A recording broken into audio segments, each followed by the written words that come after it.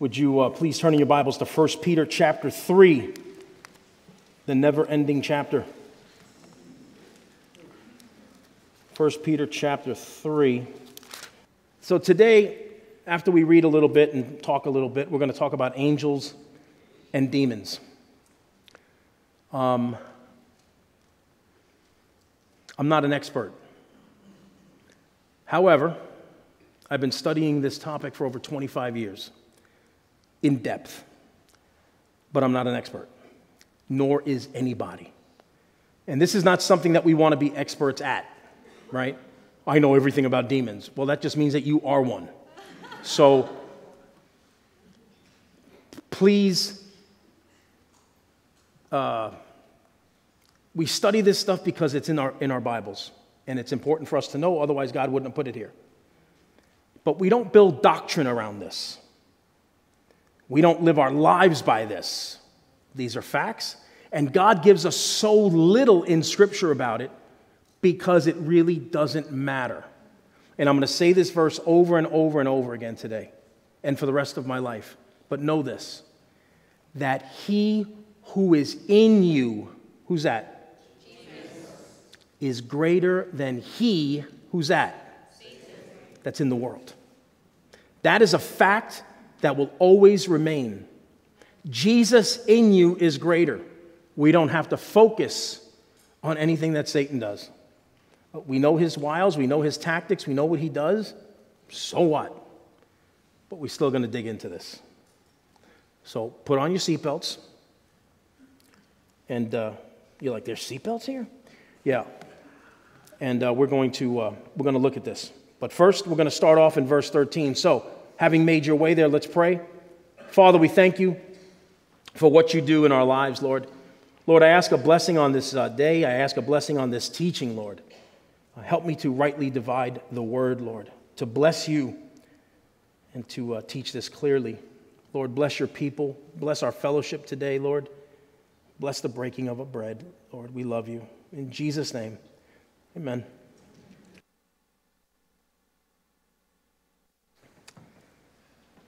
Verse 13, we went here last week. It says, And who is he, lowercase h, who will harm you if you become followers of what is good? And what is good? Jesus Christ is good. If you become a follower of Jesus Christ and do the things that he commands you to do, who's going to harm you? Who can possibly touch you? Your standing is in Jesus Christ. And maybe you hear this morning go, Well, you know, I'm not a really good Christian. It doesn't tell me that that's a qualifier. It says to follow that which is good. If you have the Lord Jesus Christ in your heart and you're following what is good, well, how do I know what's good? Well, He wrote it down for you, He put it in a book that we would know. What are the things that are good? How do I discern those things? He makes it really, really easy. He says, if you're a follower of these things, who's going to harm you? In other words, who is going to take your eternal life? Satan may mess with you. You may have a bad time. They may arrest you for being a Christian. And this life, this life is a vapor, gang. A vapor. Life flies by. Flies by. Ask anybody over the age of 65, you go, Are you kidding me? They say that men at 45 years old, that's a midlife crisis. Midlife, that means living to 90. I don't have a chance. My midlife was somewhere around 30. Oh, life, man, this life is a vapor. But who's going to harm you? Who's going to harm you? They take your life and they execute you and you, you can't harm me. Because as soon as my eyes reopen, I look into the face of my, my Savior, the one that I love the one that took the pain and the punishment for me. I see him. Glorified body, glorified mind, see things the way he sees them. And I, Lord, I've heard and I've read so much about you. You've been with me all these days, and now I stand in your presence. But Lord, you've been here all along. Listen, when, we, when our eyes are open, we're going to be shocked to find He's always been there. Ever since we said, I do to Him, He's always been there. He's never left us. It's us that we get caught up in, in this world that we don't stop and realize He's here. He's here. And, and listen, it happened so, so naturally. I was sitting out on my deck last night. I see my son, he's over there cooking on the grill, and I'm just sitting there quietly. I'm listening to some instrumental worship music. And man, my eyes started to well up with tears. Why? The Lord Jesus Christ showed up. I don't know why. But he, he was never gone. I just quieted my life enough as I'm looking around at the trees and the sky and the clouds moving past, and I realize the Lord is here, never leaving me, never forsaking me. And the same is true for you. You know, I don't feel that. Quiet the noise, and you might. Stop the noise around you, and you just might understand wow, God, you really are with me. Doesn't mean bad things can't happen, but we have His peace because we sense His presence. And what He's telling us there is, but even if you should suffer for righteousness, uh, you're blessed. But I'm suffering. Yeah, but you're blessed. And don't be afraid of their threats, nor be troubled. And listen, we're living in a day where the threats are going to come more and more. You will be threatened. They'll go after you because of the, your Second Amendment rights, they'll go after you for your First Amendment rights. They'll go after you because you stand against abortion. They'll go after you for everything you stand for, including the Word of God. That's not happened yet. But believe me, if we stay here long enough, we're going to see it. We're going to experience it. Are you ready to stand? That's the question. Will you, will you cower? Will you bow down when the pressure gets too hot? Those are the questions that you really have to ask to know where's your standing in Christ? How much of Jesus do you really want? He says, But listen, but sanctify the Lord God in your hearts. Sanctify? Why does he tell us that? Because Moses, his own Moses, didn't do it. Moses, you remember, with the children there in the wilderness, Moses was frustrated with them. God told him, Hey, go up there, address the people. And what did Moses do? He got ahead of God. And he took that rod, that rod of Aaron, and he struck the rock, and water came out again. And the Lord grabbed Moses and said, Hey, Mo, what the heck are you doing? Why, why'd you strike the rock? I'm not angry with the people. You are. You misrepresented me. You didn't sanctify me to the people. Dads, listen up. This is what we're supposed to do for our kids. We're to sanctify the Lord Jesus Christ to our children. In other words, he's set apart, he's special. When we pray, we pray. Man, you bless your mom, you bless your dad by greeting them, praying for them. In the morning when you rise, go and greet your mom, go and greet your dad if they're home. We sanctify the Lord that way. God is, is special. There's an anointing there, and there's anointing that falls on the family as well.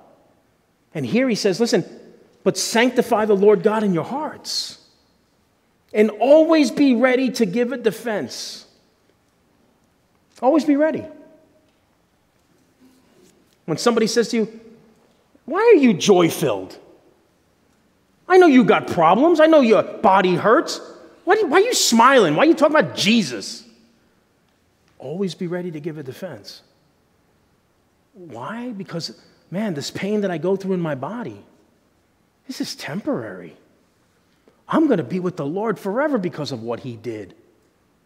Do you know that God so loved the world that he gave his only begotten Son?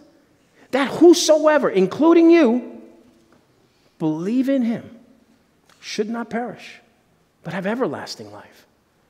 Always be ready to give a defense.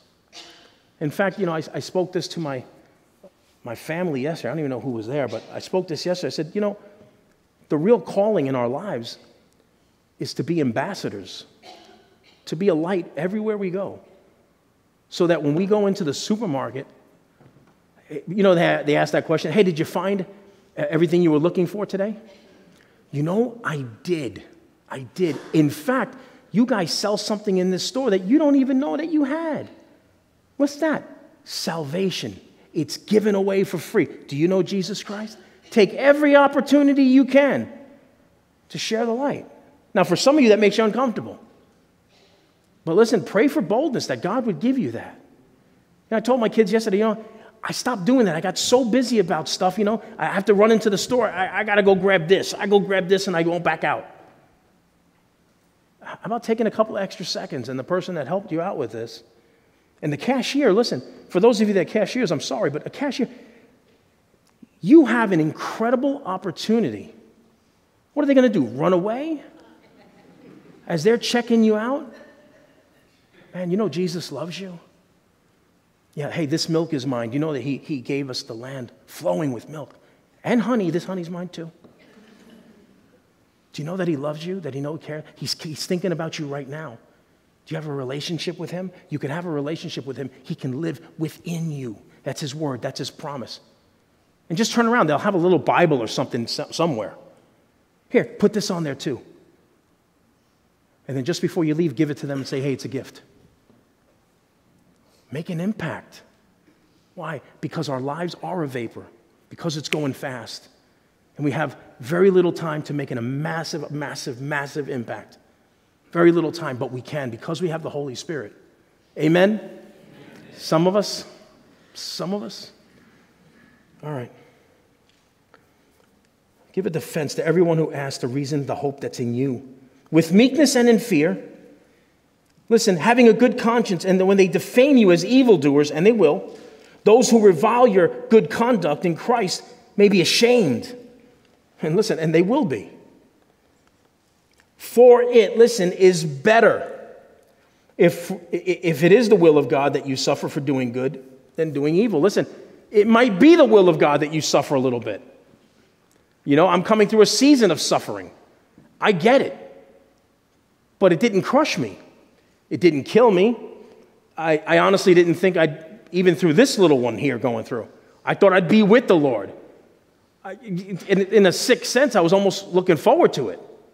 I said, man, this one might take me out, you know? Pneumonia kills people all the time. And I said, what if this one takes me out? I said, I'm going to see the Lord. And I didn't even have any strength to like be happy about it. I just went to sleep and I slept and I slept and I slept. And every time I woke up, I went, still here. But it, it, it's, isn't it better that if we suffer for God's will? Because there's a blessing attached. That we press on, that we, that we march on.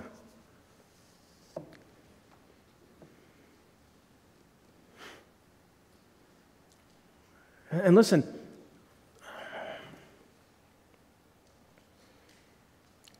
look, there's somebody watching from home right now, and you're in a season of depression,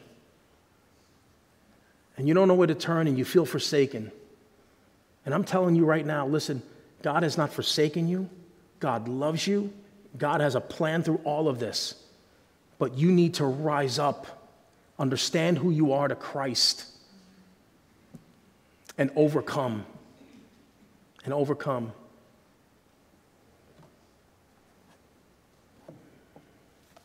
Sorry, the Lord interrupted this message to bring another message. All right, my favorite part. Verse 18. And if this is your first Sunday here, I apologize. We normally don't teach these kind of things, but I don't have a choice. So uh, hang in there and check us out next week. Listen, now, now Peter, I don't, I don't know what Peter does here. Peter is trying to bring examples, right? He's told us about being a good employee. He's told us about being a good husband. He's told us about being a good wife. He's bringing all of these illustrations of submission, and they're all good. But now all of a sudden, like, I don't know, man. I know he's a fisher of men, but he is casting far for this one. And when I see Peter, I'm going to say, yo, dude, What gives? You made fun of Paul because you said Paul teaches some things that are hard to understand. And then you come out with this doozy. And it is a doozy. And I'm just going to read through it and then we'll come back. For Christ also suffered once for sins, the just for the unjust, that he might bring us to God, being put to death in the flesh, but made alive by the Spirit, the Holy Spirit, by whom also he went and preached to the spirits in prison, who formerly were disobedient, when the once divine long suffering waited in the days of Noah, while the ark was being prepared, in which a few, that is, eight souls, were saved through water. There is also an antitype which is now which now saves us. Baptism. Not the removal of the filth of the flesh, but the answer of a good conscience towards God. Through the resurrection of Jesus Christ, who has gone into heaven and is at the right hand of the God, at the right hand of God. Angels and authorities and powers having having been made subject to him. And I'm glad that's perfectly clear to all of us. Now, listen, there are books that are written about these four verses, volumes. In my opinion, there are two books written if you want to look into some of the things that we're going to teach about today, there are two books that have been written in history that I think are, are, pretty, are pretty dead on. I don't say I agree with 100% of it, but I agree with a great percentage of it. Um, the rest that I have read, and it's probably about 12 in total, were absolute trash. But these are some of the more popular writers today. And if angels and demons get your fancy, you probably have read one or two of those books, which has really skewed your understanding. The biggest problem is some of your former pastors also read those books, and they taught it like it was theology. That's a problem. It's a major, major problem. We stick to the Word of God, and and today I'm going to go outside of the Word of God, which I never do, but we're going to talk about the book of Enoch a little bit. It's not a canonized book in our Gospels, in our, in our Bible, but it doesn't mean that it's not a good point of reference. All the ancient rabbis read it, all the ancient uh, people on the earth understood it uh, before the fifth century. It was common reading. It did not make the cut into the Bibles, into our Bibles. So please understand that. Um, we'll put this in for the sake of the tape. The tape. We don't even have tape. Why do I keep saying tape? You know what I'm saying. Two books The Doctrine of Endless Punishment, and we'll put that up here. It's by William Shedd. It is now available on Amazon if you choose to read it. Um, I know it sounds like something of misery. It's not. It's actually a pretty quick read, and it's good. And the next one is Fallen Angels and the Heroes of Mythology by John Fleming. Now, this book was written originally in the 1840s and has been out of circulation for years and years and years. It has now currently been put back into circulation. I have one of the original copies, I have one of these copies. Um, and this one does a really good job. If you're into Greek mythology, you want to know where it came from, this book will hit it right on the head. So, um, you're like, oh, yeah, I like Greek mythology. Well, then you like demonic beings, because that's what Greek mythology is all about. Now, let's go back. And it looks like I'm going to be doing this again next week, I think, uh, unless we stay. For Christ also suffered once, once for sin. What's the meaning behind that? That means if you go on sinning in your life, telling people you're a Christian, acting like a Christian, but you keep going on sinning understand that there is nothing else that can be done for you. Jesus Christ died once. Amen? Once. Well, what do I do? I went on sinning. Stop. Drop. Repent. Start over again. Really? That's it? That's it. That's it. And, and bring your pastor a hot fudge sundae. Anyway, that might not be accurate theology. I don't know. He suffered once for sins. Listen, the just and the justifier, right? For the unjust. And the word there for the unjust is in the plural sense the unjust ones. That means all of us. Jesus died once, the just, the only one that was, and he justified us. That he might bring us to God. And that word might in the Greek is not really the word might in the English. It's not might, it means it is, it will be. He's bringing us to Jesus Christ. Isn't that beautiful? He's bringing us, Jesus Christ is bringing us to the Father. You know, it's like we see the Lord and He presents us before the Father, and this one's mine. Dad, this one followed me. This one lost their life. This one gave everything. This one was ostracized and hated because of me, Dad. Cause, but they loved me and they didn't back down. They served other people, Dad, because of me. Father, I present you your son. And then just put your name there. That's what Jesus says that he does. I present you your daughter. That's how, beautiful, man. How beautiful. I don't know what we're going to be like on that day. You know, and it's like, we're going to be like jelly, man. We're just going to melt before God. I don't even know. You know, I live every life thinking, man, it might be today that I see him. It Might be today. I got, I've, listen, I got a passion to see my Savior like I can't even describe. Man, I love him. I love, I beat myself up because, you know, I get so moody with this world. I don't like being here. I don't like the direction it's going. I don't like, I don't like anything.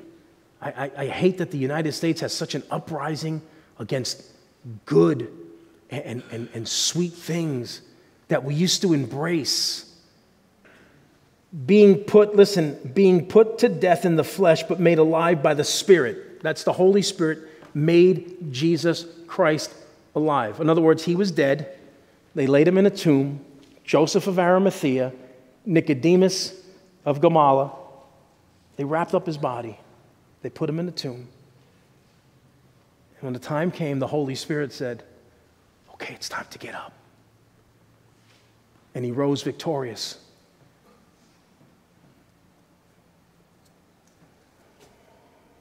Don't you just love Jesus, man? What a, what a, what a, what a superhero, man. Jesus. Yeah, I think Superman's great. I think Batman's great. I think Jesus puts an end to everything. Not that Superman and Batman are real. I, I know. Okay by whom, listen, he went and preached to the spirits in prison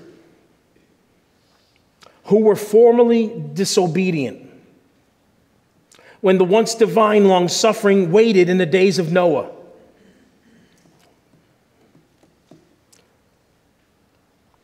While the ark was being prepared. Now, up until this point, you go, ah, that's just easy, no big deal. Then you get to that verse and you go, huh? All right, so we're talking about the ark. Okay, well, where do we know about the ark? Well, the ark was something that had to be invented because God was going to bring judgment on the world. If I were God, I would have done it that day. But God says, I'm not going to put up with this much longer. 120 years is what you get. 120 years? Yeah, God is fair, man. 120 years. Go in your Bibles to Genesis chapter 6. Okay? Genesis chapter 6. For those of you that are not into this, you can go to sleep. You have our permission.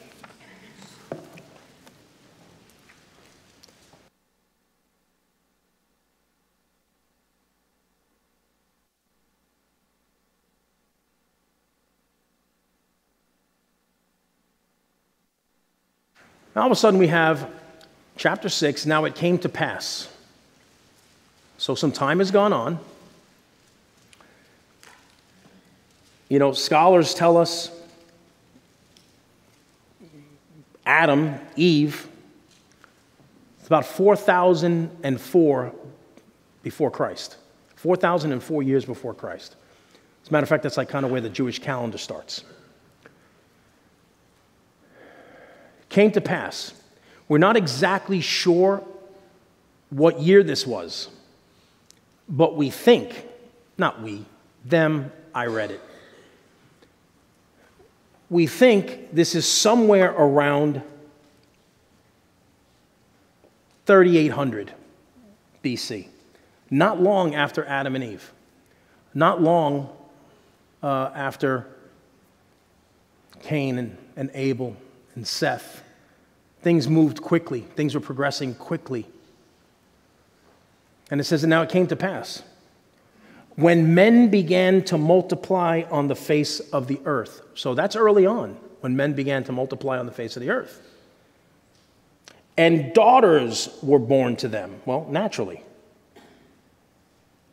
That the sons, and that word is a key, the word sons, it's Bene Elohim, the sons of God, angels that the sons of God saw the daughters of men. Fathers, those are our daughters, daughters of men. In particular, we can trace this back to Mesopotamia, women in an area of Mesopotamia that really adorned themselves and, you know, took Egyptian uh, custom and putting on heavy makeup. And, and the angels looked on and went, yo, these daughters of men aren't like the other ones. I like these. Yeah, like prostitutes. And that's what they looked on at. Now, listen, they saw the daughters of men, that they were beautiful, and they took wives. The Hebrew word there means by force. Um, now, we don't know if that was an aggression or took them by force because of the way they looked. Remember, they're angels, and they can make themselves look as good or as evil as they want. They're angels. And in this case, we'd have to say that they made themselves look beautiful, you know, the Fabio kind of stuff, you ladies, if you want to understand this. You know? I don't know if they're riding horses or not, but uh, Fabio. And they took wives for themselves of all whom they chose. And the Lord said, Now remember, the background one third of the angels fell with Lucifer. But remember, he fell in a spiritual sense. Lucifer still had access to heaven. I don't understand that. Boot him out, lock the door to heaven. But God doesn't do that. God still allows him to have access and the demons to have access. In fact, and I really don't have time to go there this morning, but read the book of Job. And, and Job is in the presence of God. Why didn't God just, uh, Job's in the presence, well, he was, but Lucifer is in the presence of God. Why didn't he just strike him dead? These are things that we can't possibly comprehend. The long suffering of God. But Satan is going to play out a role in God, in God's plan. And God says, Oh, yeah, you've been roaming the earth, huh? Looking around? Yeah, kind of boring. You keep putting your mark on everybody. I can't touch anybody, is the understanding there. And he goes, All right, have you considered my servant Job?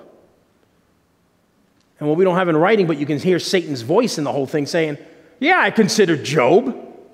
And you got the biggest hedge of protection around that guy. You won't let me touch him. You won't let me hurt him. If the day you let me hurt him, he will curse you to your face. And God says, All right, do what you want, but you can't touch him. You can't take his life. And you guys know the story. I think you know the story. Job loses everything. His children die. All of his cattle, his feed, all the people that worked for him, everybody's dead. Except his wife. His wife was alive.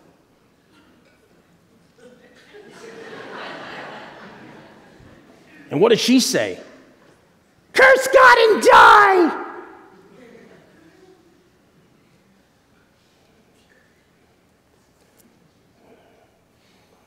We don't have a verse in that book that says, God take her too, but you can imagine that's how he felt. So we get a little insight that God had to allow that.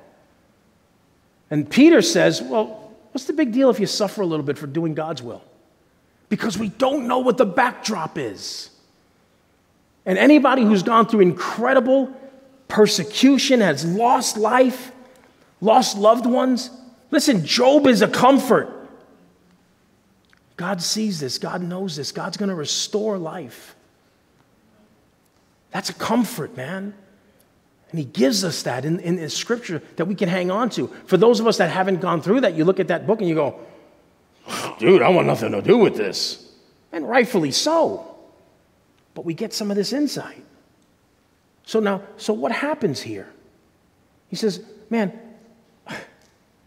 and the Lord said, My spirit shall not strive with man forever, for he is indeed flesh. In other words, worthless. Yet his days shall be 120 years. Now, you had men that were alive 1,200 years, 900 years, 1,000 years. Why? We were supposed to live forever. We were supposed to live forever. But now God says, uh, Look, I'm going to shorten it to 120 years.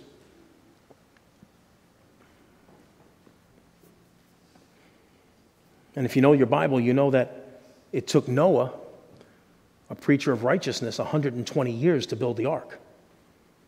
What was God doing? He was allowing the preacher to preach. Noah's there building an ark. There's evil in the land. What kind of evil? Well, well, this kind of evil. There were giants on the earth in those days, and this is a key phrase and also afterward. After what? After the judgment. What judgment? A flood. A flood. When the sons of God came into the daughters of men and they bore children to them, those were the mighty men of old, men of renown. Men of renown, and if you start following that out, Greek mythology. Greek mythology. Um, how do you have all of these stories uh, of Achilles and all, all these stories of men that could do incredible things? Listen, the offspring, the offspring, the offspring, the offspring to the offspring, to the point where it gets now you have these men who have DNA in them of fallen angels. And they can do incredible work. Now, let's back up a little bit. Let's go back here. These were the men of renown. Then the Lord saw that the wickedness of man was great on the earth, and then every intent and the thoughts of his heart was only evil continually. And the Lord was sorry that he made man on earth. That's not the kind of sorry that you and I would have. And he was grieved in his heart. So the Lord said, I will destroy man whom I've created from the face of the earth, both man and beast, creeping thing, the birds of the air for I am sorry that I've made them. But Noah found grace in the eyes of the Lord. Noah found grace in the eyes of the Lord. Why? Noah didn't partake of this evil. Noah lived a, a righteous life with his family. In the streets, we had giants. You got nine foot, 10 foot, 11 foot giants running around, half breeds. Half breeds. Why? Fallen angels. One third of the angels fell. Now, not all of them had relations with human women, but many did. What we don't have, we, we have some, some cryptic verses that I don't have time to get into. That book, Doctrine of Endless Punishment, we'll get into it. At some point, God takes those fallen angels and locks them in a place called Tartarus, where they can never, ever escape from until He says so. That day hasn't come yet, by the way, thankfully. Fallen angels locked up, but they have offspring. Their offspring, we understand, take on the title of Nephilim. This is a special class of half breeds. They have no soul. They cannot be redeemed. They're not human. But they're like freaks. Again, nine foot, 10 foot, 11 foot. They're angry, they're aggressive. There's bloodshed everywhere. People are dying everywhere. And God looks on at this and says, Nobody's safe. They're taking life. There's fighting within each other. And these have to be exterminated. And God chooses to do that with a flood, a cleansing flood. He says, I'm only going to contend with man for 120 years. Noah's building an ark. It takes him 120 years to complete. Every day, hammering away on this ark. His sons, the daughters, everybody's working. People in the town. Hey, uh, Noah, what is this contraption? Uh, it's, it's an ark. A what? Did he say a park? No, I think he said an ark. What's it for? Well, well, God told me to build it because God's going to pour down water from the skies. Wait, you believe in God? Okay. And your God's going to do what? He's going to pour down water from the sky. The water, he's going to pour it from the sky, and we're all going to drown. Okay. this guy's out of his mind. Hey, did you go see Noah? Come on, let's go down. Let's go make fun of him. Let's throw rocks at him while he's out on the outside of that ark. Now, listen.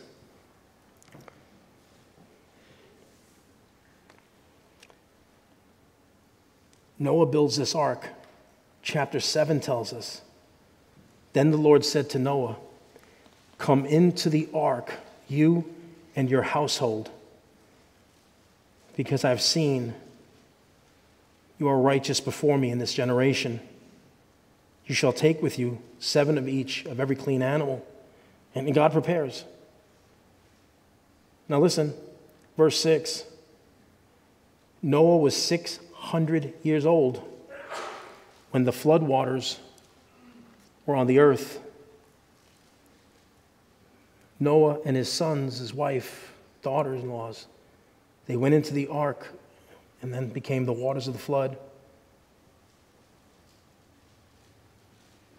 And it rains for 40 days. Now remember, if, as you read this passage, it says that Noah went into the ark and God closed them in. God closed them in. God protected them from all the evil that was in the world. It's a picture of rapture. Peter's going to draw another conclusion from this, saying, hey, this is a lot like baptism. They went down into the water, but they rose up and they were saved. God saved them, God spared them. On the outside, we have this group called Nephilim. God wants them dead. Now, listen, here's what we have to understand the Nephilim, a special group, and their offspring that did not survive the flood, they drowned, were disembodied. Fallen angels locked away. Fallen angels are not walking around today. Fallen angels aren't doing evil in the world. Fallen angels are locked away. Some of you have books that say, uh, well, there's fallen angels that are causing all kinds of disruption. Is Not true. Not true. Fallen angels aren't doing anything, they're awaiting judgment. The offspring of this Nephilim disembodied the Nephilim themselves drowning, God not allowing them to live. But the spirit of the angel that was in them was then released, becoming demonic in nature, a demon, a demon now in, on the earth with nowhere to go. And that's why every time we see a demon, they want to inhabit, they want to take a life, they want to be in some kind of life. Have you come before the time of judgment? We just talked about this. I can't tell you when, but recently. Have you come to judge us? To throw us, listen, into the abuso? Please allow us to go into those pigs. Why? Because it wasn't the time for the abuso. That's coming. Revelation. It's coming. But for now, puts them in the pigs. The pigs feeling this demonic presence don't even want to live. They go and commit, yeah, you know, suicide. And, and now, the, now these demons need another body. And it says, and they, they, they go into arid places, seeking a body that they can inhabit. Oh no, what if it's me? If you have the Lord Jesus Christ, it can't be you. Amen? Can't be you. Can't be you. Not one time in Scripture do we ever see, ever see a saved person have a demon. One's free, right? Is free indeed. You're free indeed. There's a warning. It says if you return to your ways, if you go back to the old lifestyle, says, man, that demon returns and he finds that house cleaned out. Then he goes and grabs seven more demons to come with him. And then it says your condition's even worse after the fact. And listen, gang, and I'll tell you that that is true, and I've lived it out myself. I've seen that that's true. And, and, and God is good to, to free. And that's why we can always run back to the foot of the cross and ask for blessing. So, fallen angels and demons are two different groups. Now,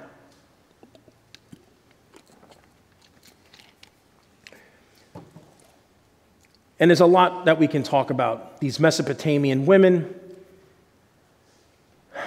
this group that had these offspring, it says that in that day, and again, this is a key verse, there were giants on the earth in those days and also afterward.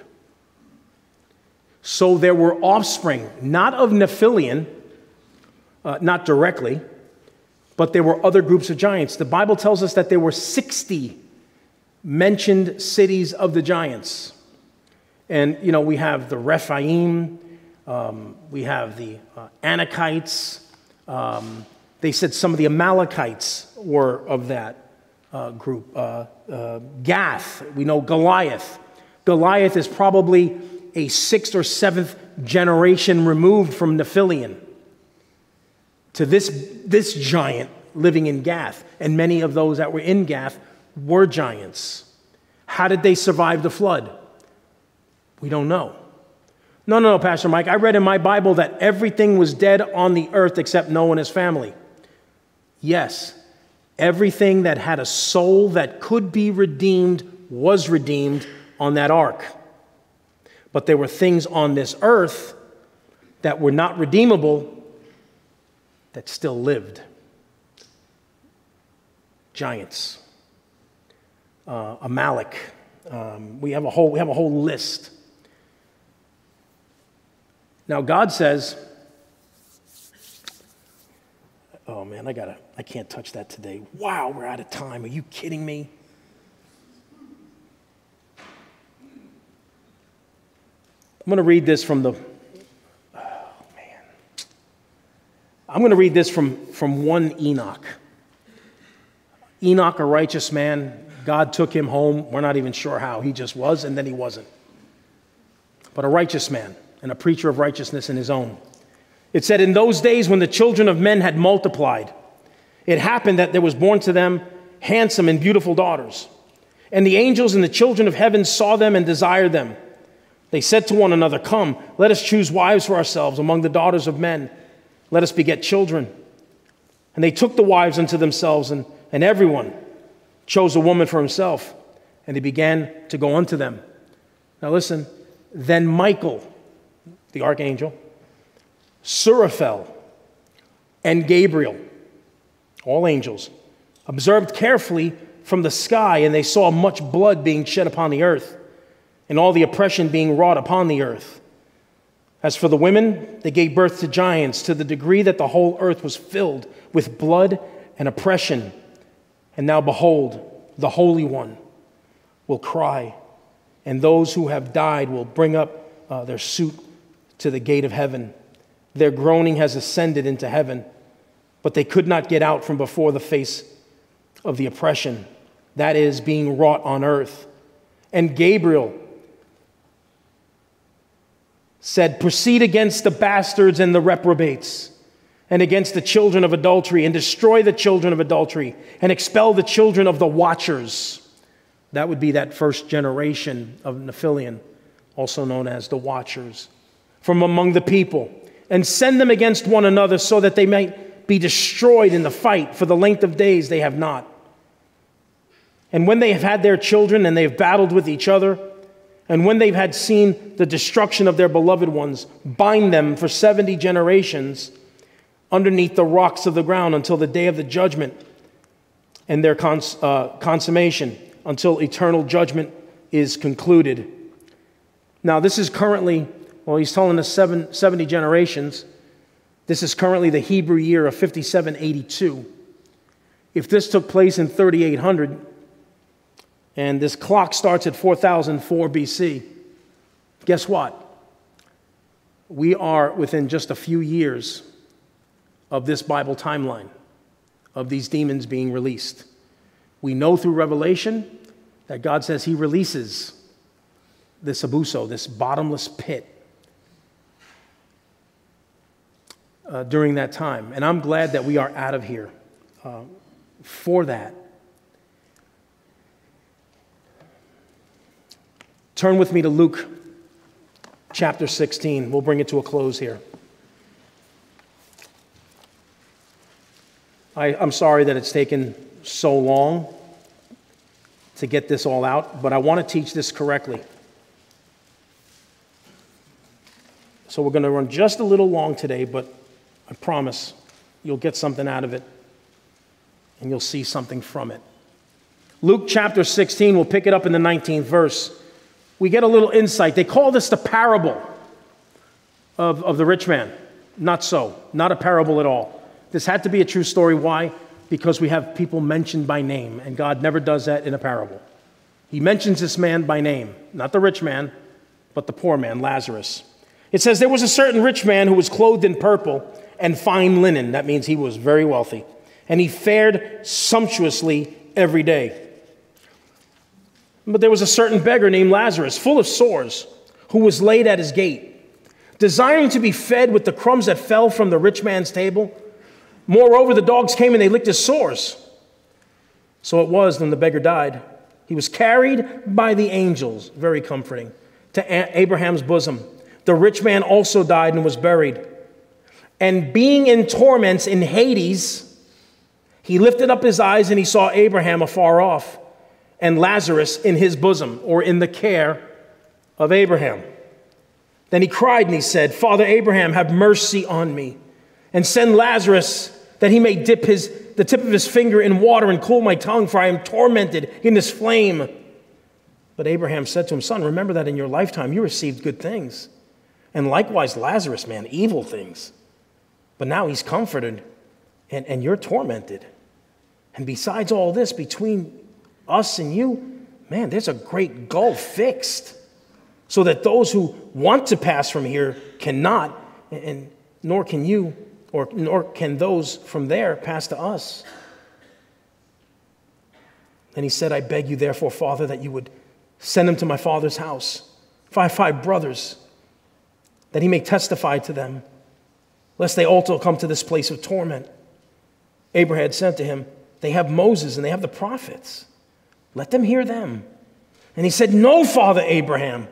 But if one goes from, from them to the dead or from the dead, they'll repent. And he said to him, If they do not hear Moses and the prophets, in other words, if they don't listen to the Old Testament, neither will they be persuaded though one should rise from the dead.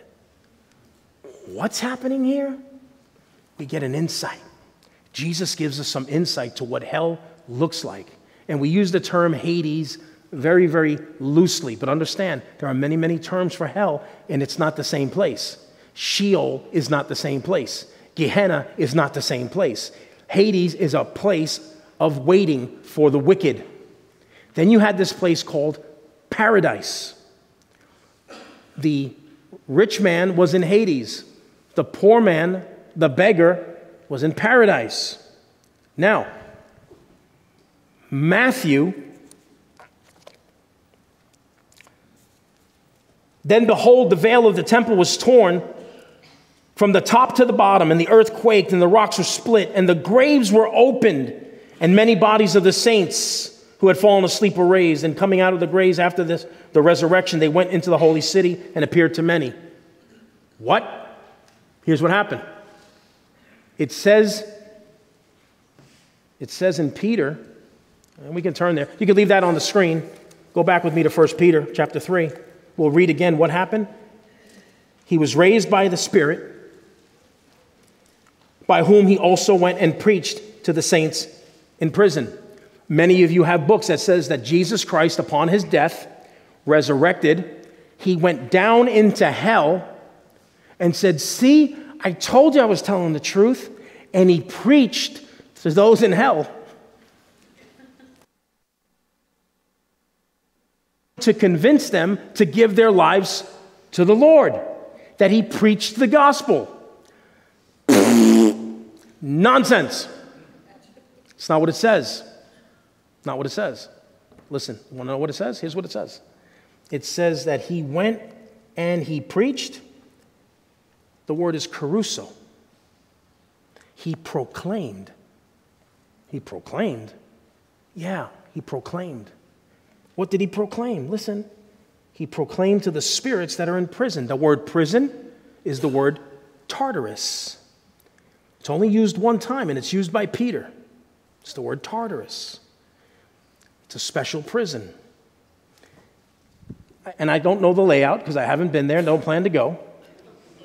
There's Hades, there's paradise, we have Gehenna, all on some kind of a a very lateral plane.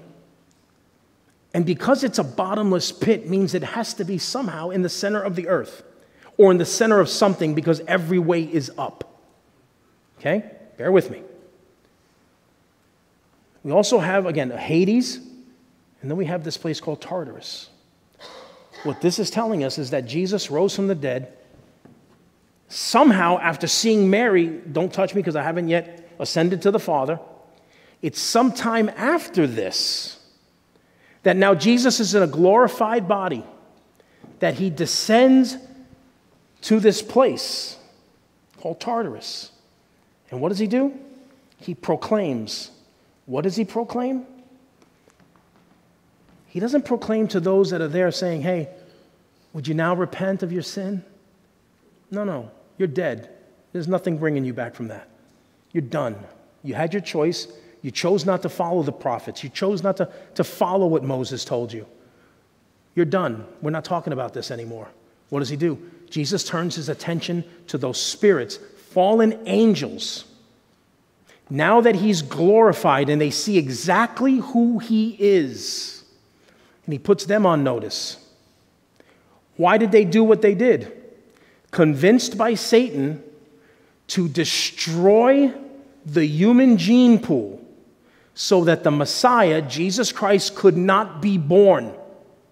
They tried to break the line. Let's have, you know, immoral people that have no soul, that can't be redeemed. We'll, we'll do it all through the Jewish people. Jesus Christ can't come through that line, and we'll have victory in hell. Jesus descends to hell and goes, How you doing? Where's your victory? Oh, death, where's your sting? Hell, where's your victory? What do you got? He puts them on notice. That's what Jesus Christ does when he goes to hell. And he tells those fallen angels, You will never have power over my people. You will never have power over the Christians. We live forever, and you will be banished, and you're staying here until I say so. And I have the keys of death and of Hades. Why? He's, all, he's got all authority. He did that. Listen, he did that for you. He put them on notice so that you would take notice. You've got nothing to be afraid of. There is no power in this world that can really affect you, can't touch you. And it's amazing. And we'll talk about this a little bit next week. There's nothing, listen, nothing in this world, seen or unseen, that can never touch your standing. That's why he says, Who can harm you? Who can harm you? Nobody. Nothing. Not even, not even those in Tartarus. Now, the graves that broke open that Matthew tells us about, I want to have a conversation with him why he did this. But what happened? Those that were in paradise. They were with, there is no paradise now, right? Right? Amen? Yeah. It says paradise is now with God. Absent from the body, present with the Lord. Before Jesus arose, that was not possible. You stayed in paradise. You're just kind of hanging out waiting. It's kind of nice here, but I think there's got to be something better. Don't you think there's something better? And all of a sudden, Jesus shows up. Hey, I'll be right with you guys. I'm going to address them. Boom! Come on, guys, let's go. And then all of a sudden, the graves break open. And, and people that were dead are now walking around going, Oh, Jerusalem's kind of nice. It's pretty nice around here. Kind of like it. I like it. Oh, earthquake really tore that temple, huh? Hey, guys, it's time to go. Absent from the body, present with the Lord. Now they're ushered out of here and into the presence of God. Okay? Demons, demons have not been dealt with yet. Demons are still on this earth, still on this planet. Some, by ranking, stronger than others. You can invite them into your life if you'd like. Who wants to invite a demon into their lives? Those of you that love to argue with your wives or your husbands. Let me tell you something.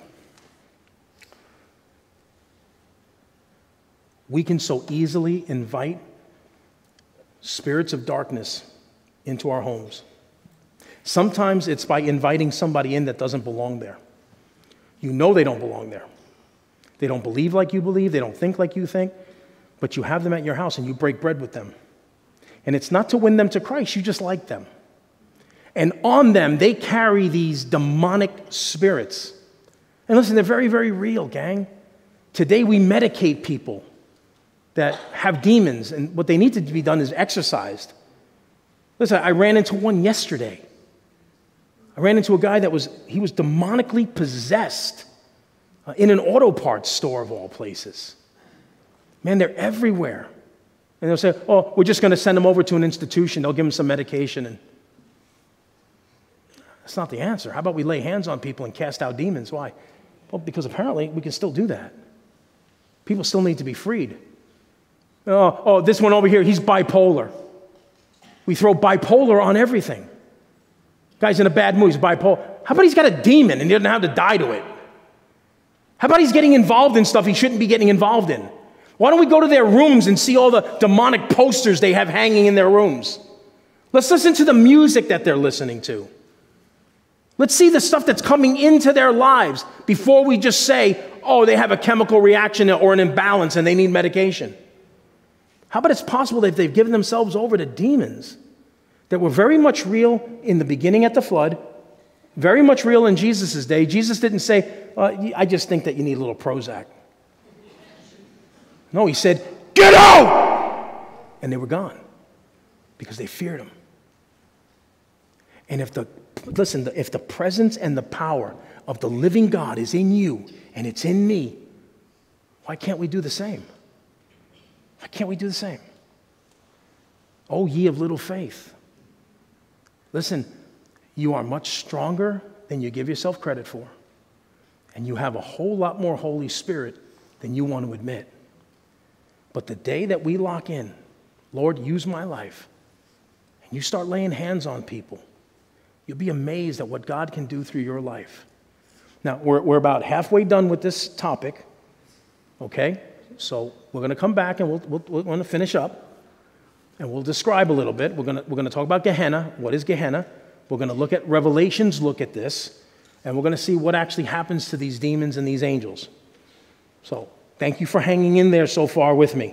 Okay, this part one of two parts, I think two parts. And, uh, and we'll, we'll extinguish this topic, and then we'll move on and we'll live happily ever after. Amen? Amen? Worship team, come on up. Let's all stand to our feet. We got taquitos waiting. Thank you for watching from home or wherever you're at. God bless you. We love you. It's much nicer here on this side than watching it on a tube. But we love you. Thanks for joining us. God bless you.